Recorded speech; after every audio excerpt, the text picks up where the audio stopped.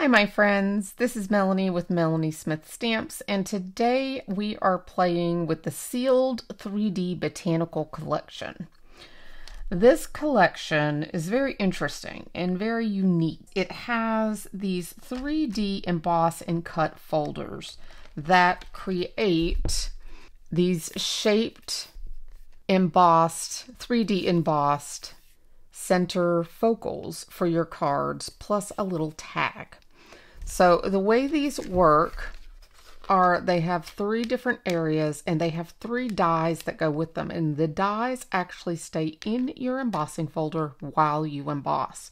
So we're actually going to do one so you can see it. Now, in my sample today, we're going to be watercoloring our 3D embossing folder or our 3D embossed focal. So I went ahead and got a piece of Spellbinders watercolor card. So let's go ahead and cut this down. I do have the new guillotine trimmer from Spellbinders here that I've just recently received. So we're going to go ahead and cut this down into four pieces. And we will go ahead and make this, let's see here. Um, make these A2 panels. And then we will emboss one of them. Now I'm trying this trimmer out for the first time. The first few times, you know, I just received it, so I'm trying it out. And I'm still not completely comfortable with it yet, so I will let you guys know how I like it as I use it. But for now, we're going to go ahead and just take this. And let's see here. I'm going to take those out because we're going to just do the large one. And this is the front of our embossing folder. I want my smooth side because I don't know if you realize this, but Spellbinders um, watercolor paper gives you options. You have a textured side and you have a smooth side. You can use either or. So I want my smooth side to be facing up. So that means towards the front of your folder. So I'm going to go ahead and do that this way. So I'm going to go ahead and mist, mist my paper and go ahead and set that down in here. We'll go ahead and close that. And then we will get our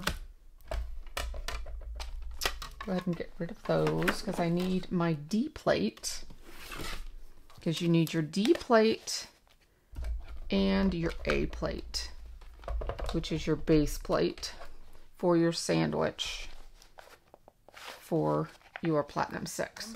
This cut and embossed at the same time.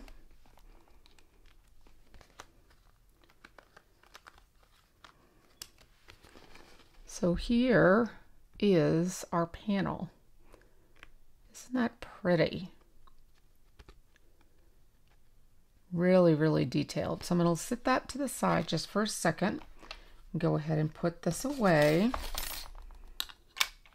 This just notches right down in there.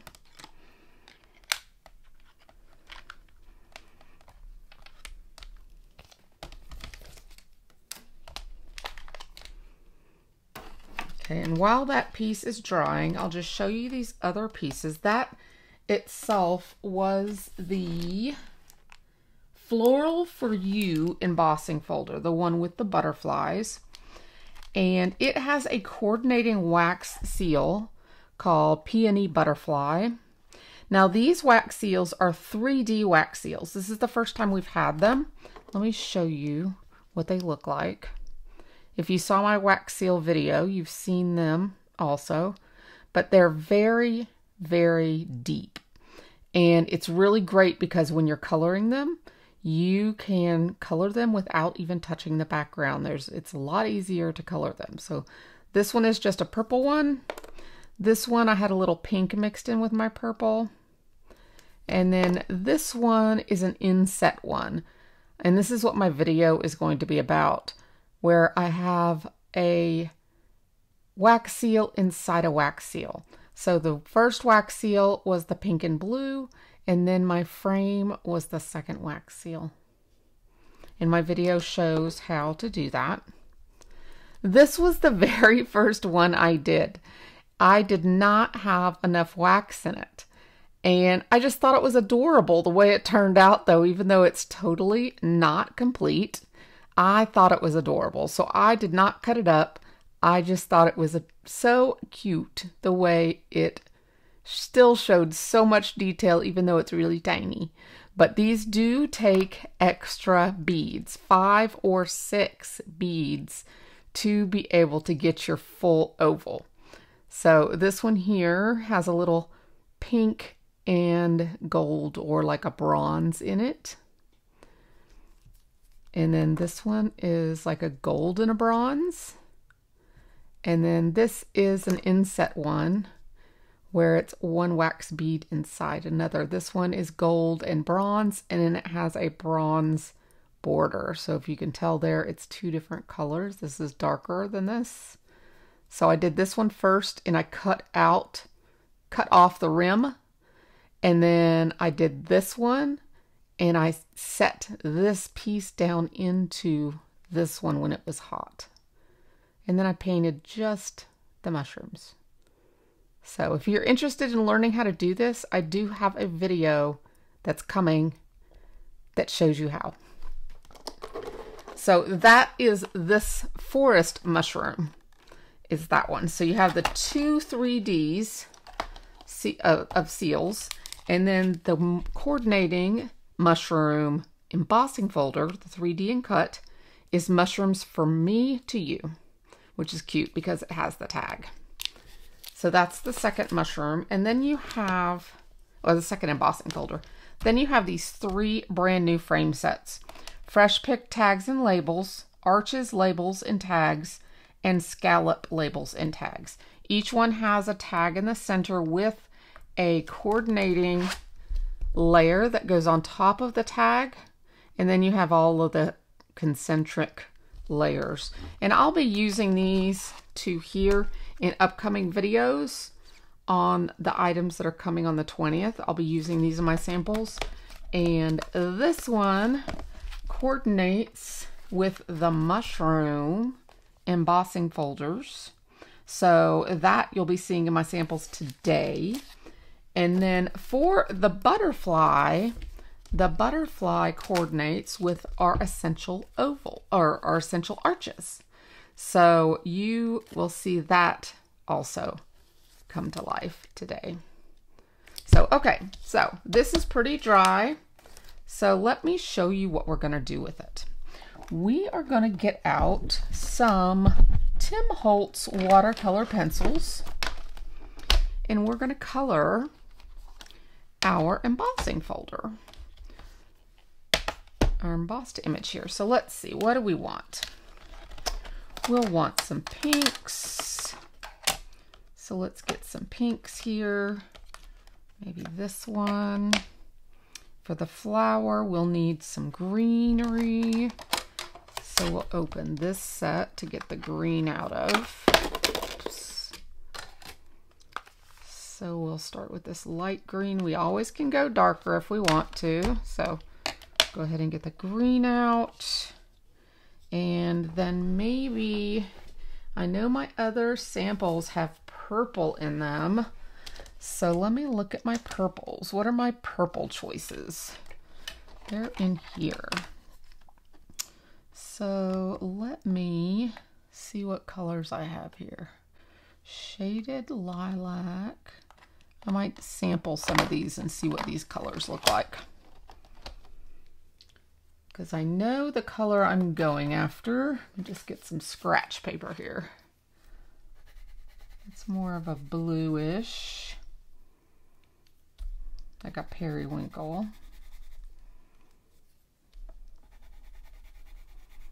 Hmm. Okay. I'm going to look at my samples here on the side and coordinate as best I can. Okay, I am going to go with that one. Alrighty, and that'll be our butterfly. Always thinking ahead with color combinations.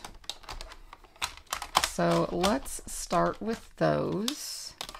We can always make changes along the way. But we'll start with these. I'm going to put some water here on my desk. I always love just using the Mighty Mister. It just makes for cleanup a little easier. So I have my brush there. Now I'm just going to take my pencil and I am just going to color. I'm going to put a little bit of color. It's a little, still a little soft in here because of the water. Let me see if I can get some pigment down. Might need to go a little darker on my pink here. So let me see if we can get this pink. What is this pink? Let's go over here. I don't want to push super hard. I want to be able to get my pigment down by just scribbling real lightly so I don't push the embossing all down. You can run it back through the embossing folder to get your embossing back afterwards. But the first time I did this, I didn't have to do that because I just lightly scribbled like this. So that's what I'm wanting. So I think going with this darker color will just make it a little easier. So I'm just scribbling down some pigment like so. And this is completely dry, you know, pencil to paper. So I'm getting that down there. I'm not coloring the centers of the flowers because we'll color those a different color.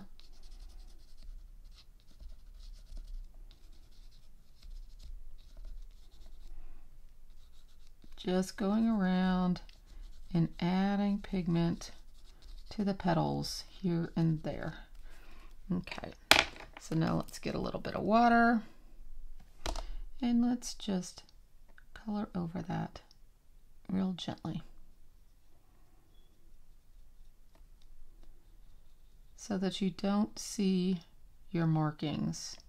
You don't want to see your scribbles. So this is this is breaking up those scribble marks so that you just see the color on the raised areas.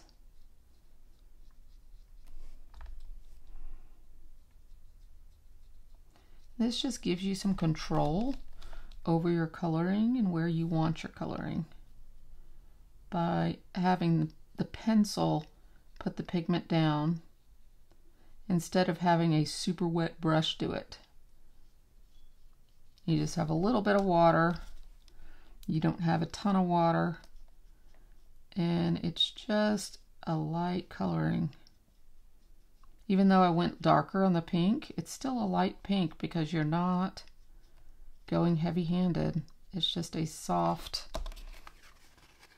it's just a soft pink you see from the scribble here to the softness here. Now you can always go in once this is dry and add a little more in the center to give it some definition if you want to, or you can leave it super soft like that. But you see this was too light. That pink was too light.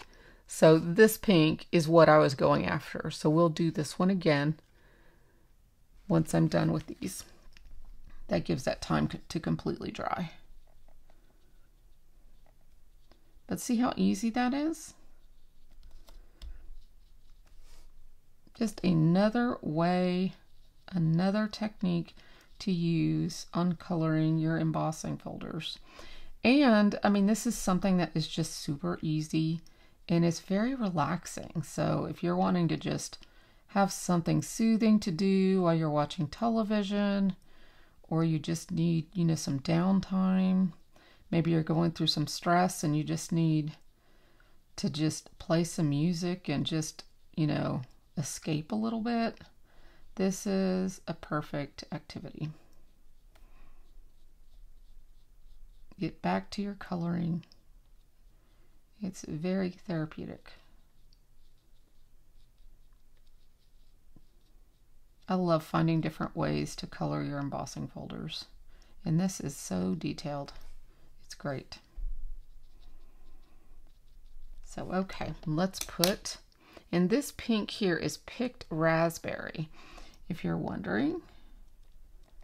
So this here, that actually went a little darker because it's, this paper is a little wet still, I think.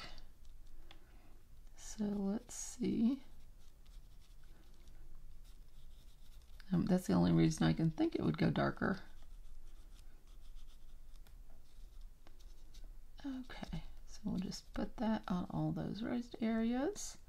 And how about we go on up here and go ahead and work on this flower a little bit and get these pinks down.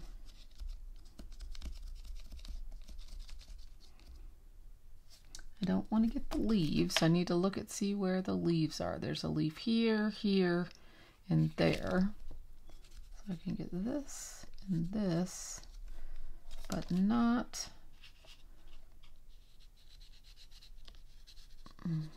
that one.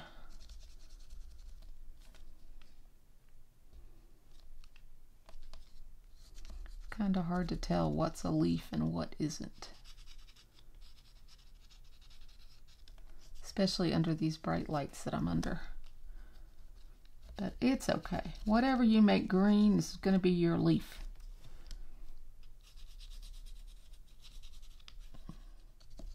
I just love how freeing this is. It's quick, it's easy. You really don't have to think about it.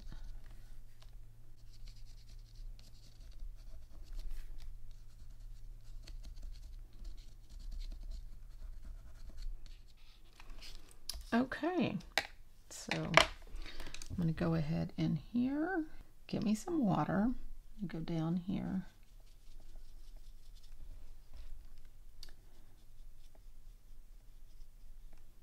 This might take a little more work. I'm wondering why this is acting different down here. For some reason, this is acting different. I'm going to add a little extra water down here to get this to dissolve. It's actually kind of pretty the way the darker pink went on over the lighter pink. Okay, before I move up there to the top, I'm just going to add the little striations in here. Just some of those extra darker areas because I really like the way it looks down here. And then I'm just going to mute those out a little bit.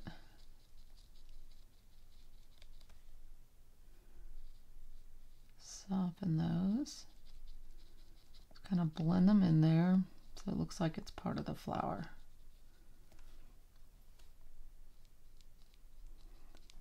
Those little dark crevices.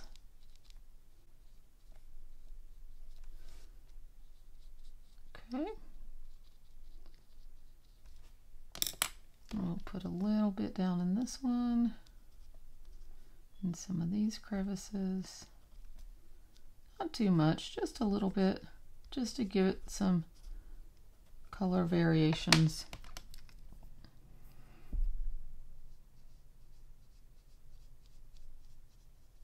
Okay. Oh, I like the way that looks right there. All right, then we'll work on this big one.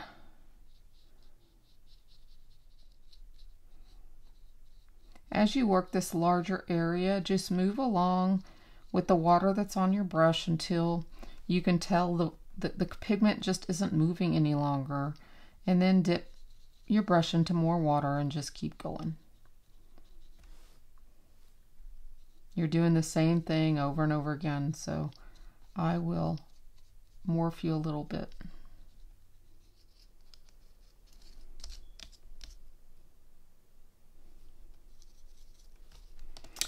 Okay. Now, some of these areas didn't quite get the color that I needed. So I'm going to just go in here with a little bit more color. And of course, when it goes in and the paper's wet, it gets quite dark. So I'm going to go ahead and just use this as getting my my extra shadows while I'm at it.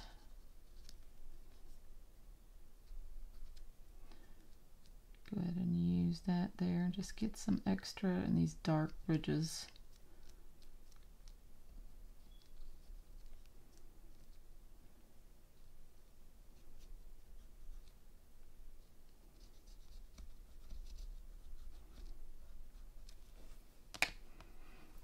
Actually got some deep ones back there.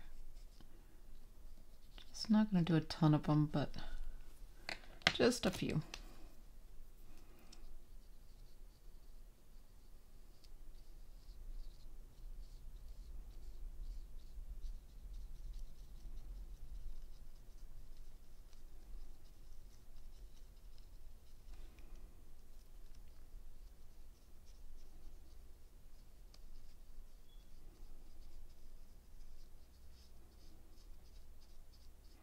You can work at this as much as you want.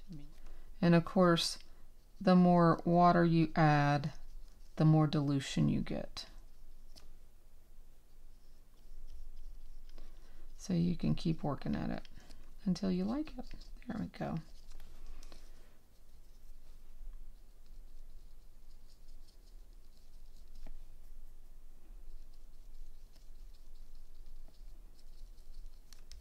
Okay, so our flowers are done for the most part, I think. Oh, I see one I forgot. Get the, that one. There we go. Okay, so now let's go ahead and get our green and we'll go ahead and color these leaves and stems.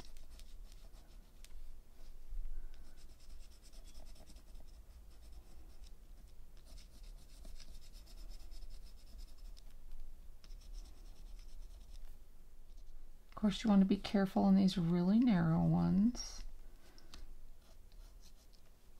Try to stick with it just, just the, um, the parts that are raised.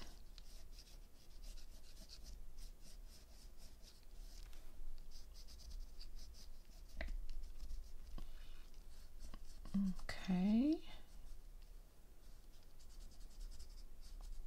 There we go. Now let's go ahead and water these down. Make sure there's no pink in my brush. I'm using such little water that I'm not really getting color in my brush too badly. So now I'm just going over that and spreading that green around on those are raised areas. So we don't have any of those striation marks from coloring.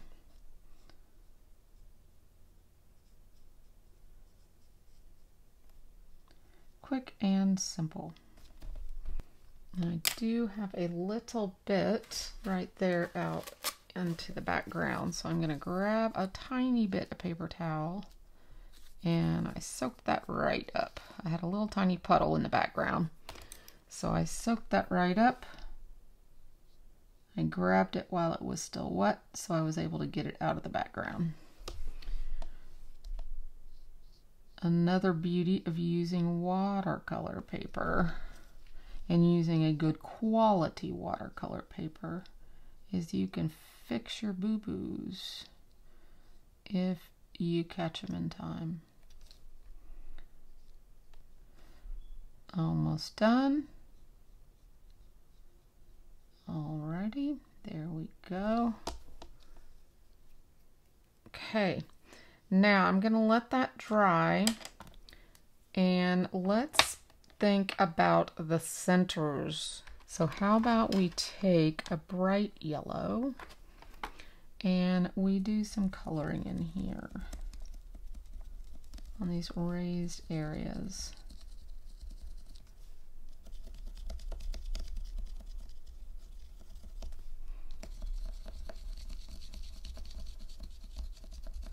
Pretty simple, huh? There we go. That was mustard seed. rub my brush again, make sure there's no pink in there or green. And then, though that green is quite yellowy, so it probably wouldn't have mattered a whole lot.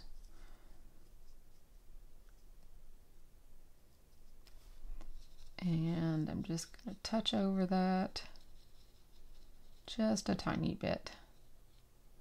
And there we go. All right, and then we have the butterflies, and we picked this purple, and I picked it out specifically because it'll match my other cards. So I'm going to add this purple to our butterfly.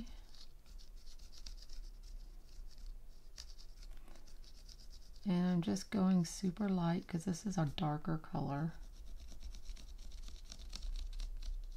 And just dusting it over the wings. I'm not touching the bodies though.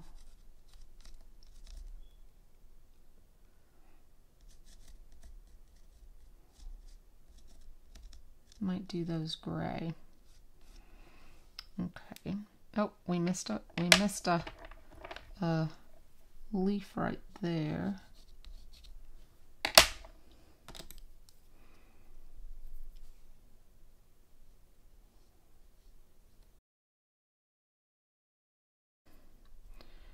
Alrighty. So let's see how this purple looks.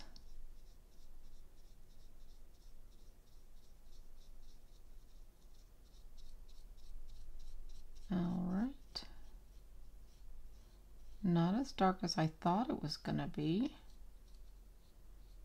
Because I went real soft. Like I said, you can always add more. But you can't take it away because that looks the same as the pink. So we'll definitely need to add a little more to that,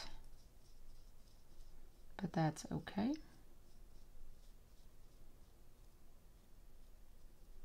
That's pretty. All right, I think before doing this one, let me add a little darker here and see how this turns out. I do darker there and there and see what how that that one turns out. Just going a little deeper.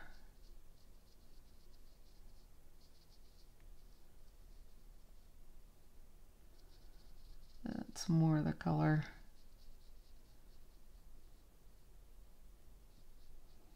There we go.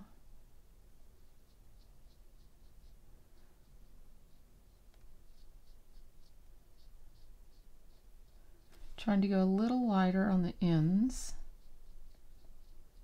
Remember, you can always add more water to get your color lighter.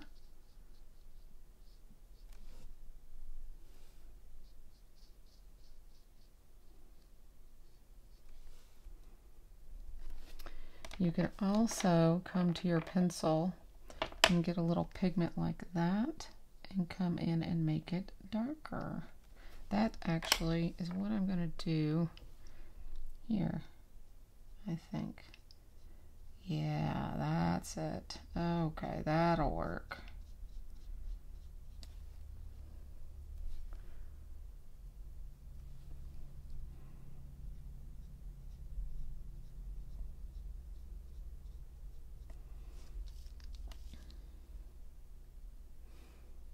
Get a little extra water there. Look how deep that pigment is there. Wow.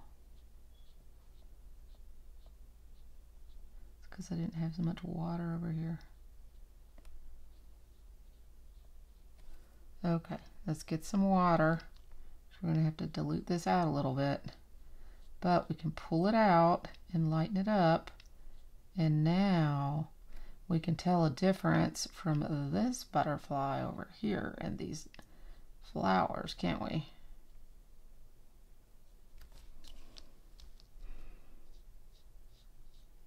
That is definitely getting to the color I was after. Just by picking up the raw pigment from the pencil itself and going straight to the butterfly. Now I'm going to drag this out so it can blend to the tips like so. So it doesn't look like it's just gotten light all of a sudden. there we go. And we'll do the same over here. To look more natural. Okay, let's see how that looks.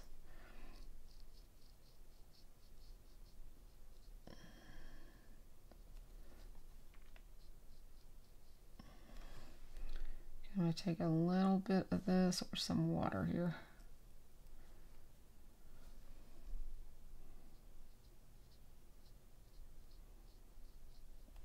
Okay, dry my brush a little bit. And just drag that out a little bit.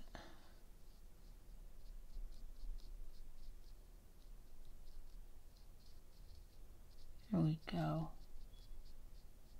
Okay. All right, then the only other thing I'm going to do is use a tiny bit of gray for the bodies. Let's see. Hickory smoke.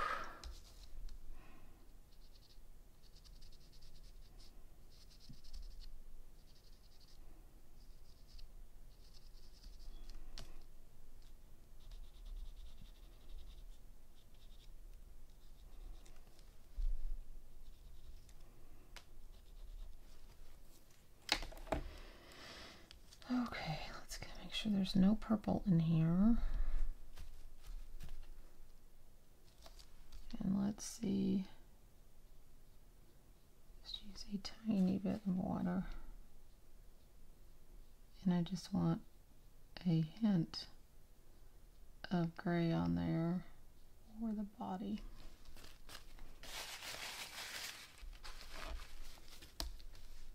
There we go.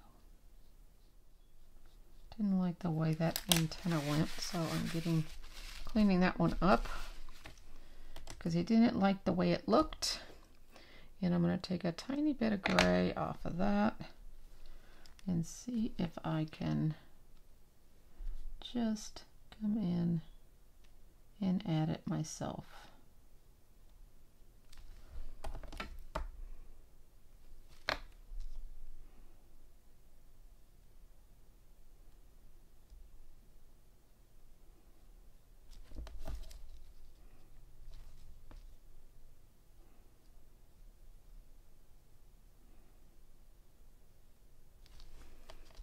go.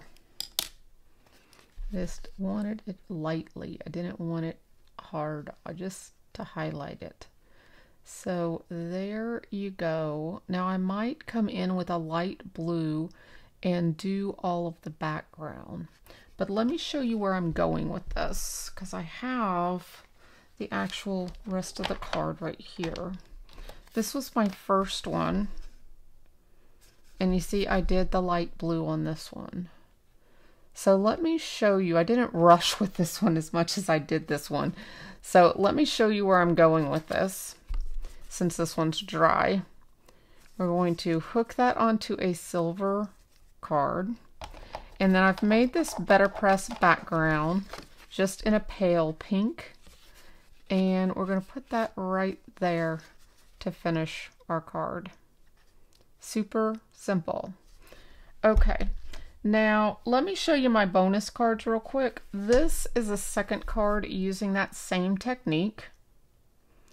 And I did the sentiment that goes with this background is what I used right here. I'll make sure to link this background. I don't know what the name is that off the top of my head, but I'll link it um, down below just in case you're interested in it. It does go on sale from time to time now. So if you like the look of this, I'll link it down below. But this one and the die for this comes with this background.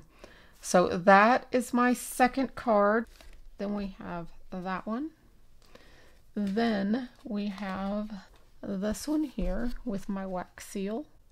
One of my wax seals. That's an inlay wax seal or dual wax seal.